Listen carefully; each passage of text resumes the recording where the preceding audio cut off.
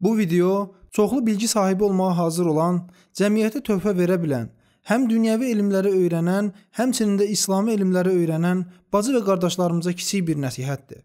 Və bu nəsihət sizin təvazökarlığınız barədədir. Xüsusən də intellektual təvazökarlığınız barədə. Allah Azza və Cəllə Yusuf surəsi 76-cı ayədə belə deyir: "Və fawqa kulli zi ilmin alim." Hər bilik sahibindən də üstün bir bilən vardır. Və şübhəsiz ki, hər kəsdən üstün də Allah Subhanahu va Taala'dır. Adətən gənc tələbələr bəzi proqramlarda iştirak edirlər. Yeni şeylər öyrənirlər, qeydlər götürürlər. Və təbii olaraq da nəsə bildikləri zənni gəlir onlara. Və daha sonra da müəyyən mövzuları artıq müzakirə etməyə başlayırlar. Bəzən olur ki, filankəs heç nə anlamır. Bu ayəni, bu hədisi, bu dəlili, bu sübutu bilmir. Filan alimin bu haqqda sözlərini də bilmir deyirlər. Yəni bütün bu istinadların hamısından xəbərdarsan və onları düşməninə atmaq üçün tennis topları kimi istifadə edirsən. Düşmənlərini bu dəlillərlə susturursan. Və göründüyü qədərilə sən bunu sadəcə öyrənirsən ki, istənilən kəsə debatda qalib gələ biləsən. Ancaq əldə etdiyin elm sənin təvazökarlığını artırmır, əksinə onu daha da azaldır.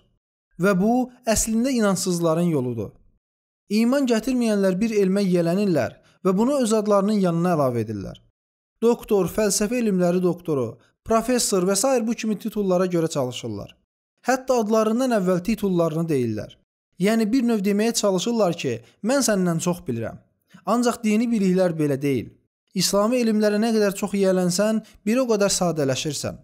Lakin əgər elm sahibisənsə, elmin çoxdursa və buna görə də daha da çox sorğulamağa başlayırsansa, Bu alim səhvdir, bu bidətdir, filankəs doğru yolda deyil və sair deyə daha çox tənqid etməyə başlayırsansa, bu sənin üçün problemdir. Onlar haqqında nə qədər məlumat sahibisən ki, belə rahatlıqla onlar haqqında rəy verirsən. Və sadəcə onlar barədə yox, öz ətrafındakı qardaşların və ya cəmiyyətin yaşlı insanları barədə.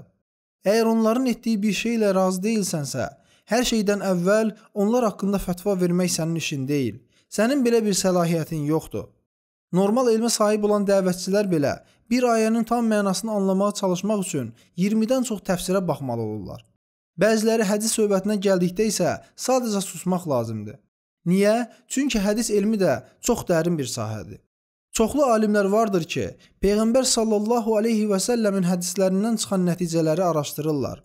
Məzmun daxilində isnad problemlərini həll etməyə çalışırlar.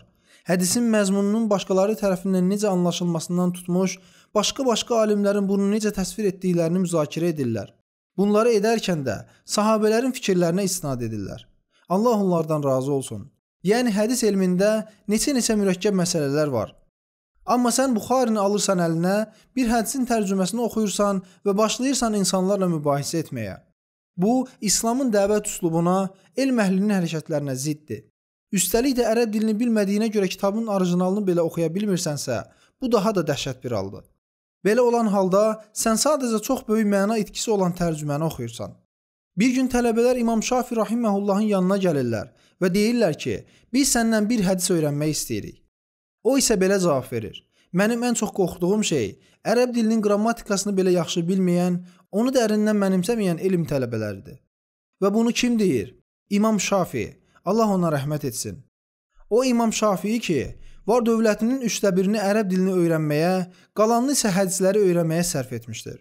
Və o sözünü bitirmədən belə deyir: "Kaş hədisləri öyrənmək üçün xərclədiyim qədərini elə ərəb dilini öyrənmək üçün də sərf edərdim." Bu onu göstərir ki, o həddən ziyadə zəngin olan ərəb dilini dərindən öyrənə bilməməkdən narahat idi. Bu dildə sadəcə 2 kurs dərs götürüb, ərəb dilini öyrəndiyini düşündüyün üçün və bəzi qrammatika dərslərinə qatıldığın üçün hədisləri şərh etmək səlahiyyətin yoxdur əsla yoxdur.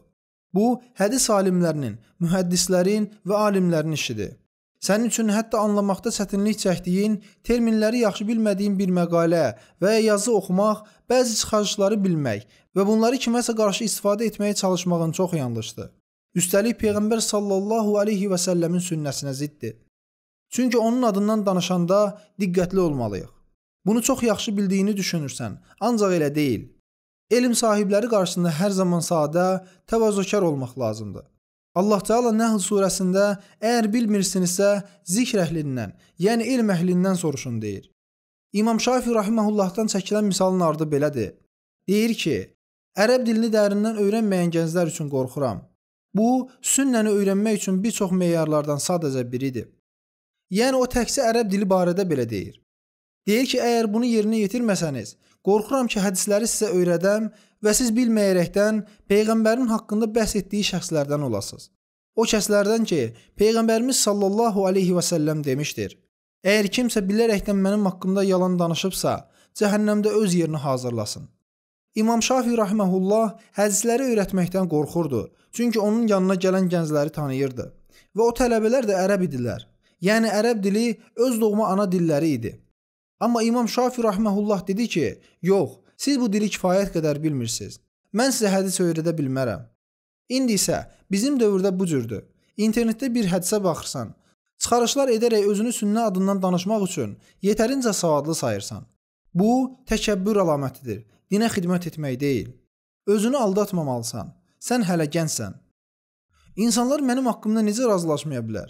Mənim bu şeylər haqqında xəbərim var axı deyə düşünürsən. Biraz yaşlananda yetkinləşirsən və artıq başa düşürsən ki, gənc vaxtlarımda necə də nadan olmuşam.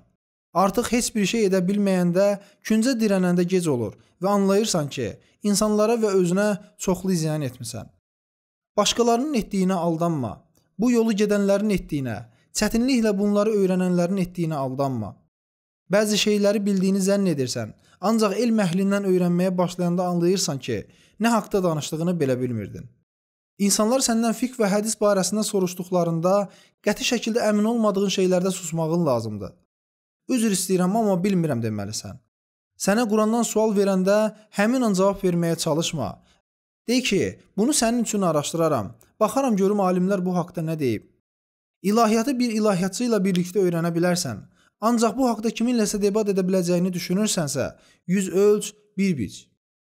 Yəni bu dinin heç bir bölməsi ilə dərindən tanış deyilsən. Əgər öyrənməkdə israrlısansa, onda öyrəndiklərinə ciddi yanaş. Ancaq sadəcə debat etmək üçün öyrənirsənsə, özünə nəzər sal. Çünki təkəbbürünü hər kəsdən gizləyə bilərsən, ancaq Allahdan əsla gizlədə bilmərsən. Spirtli içki içənlər günah işləyirlər. Onların bu işi apaçıqdır və biz onlardan narazıyıq. Amma sənin qəlbində az da olsa təkəbbür varsa, Allah bunu qəbul etməz. Şərab içən birinə bu nədir içirsən? Bilmirsən haramdır? Özünü necə müsəlman adlandıra bilərsən deyirsən. Ancaq öz daxilinə də baxmalısan. Əgər qürur problemin varsa və o səni intellektual olaraq təkəbbürlü edirsə, düşünürsən ki, sən bu dini öyrənirsən, ancaq insanlarla mübahisə edir və onları aşağılayırsansa, özünə nəzər sal, özünə çəki düzən ver. Başqa alimlər haqqında danışma. Onların dedikləri ilə razı deyilsənsə, sadəcə sus. Vəfat edən bir alim barədə danışanda onun Allah yanında dərəcəsini bilmirsən. Onun yüngül səhvlərini Allah böyük ehtimalla artıq bağışlayıb. Elə olan halda isə başqaları barədə necə belə danışmağa cəsarət edirik? Onlar Allahın quludur. Allah bizdən digər insanlarla gözəlliklə davranmağımızı istəyir. Bu tipdə daha çox video üçün YouTube-da Bəyyinə kanalına abunə olmağı unutmayın.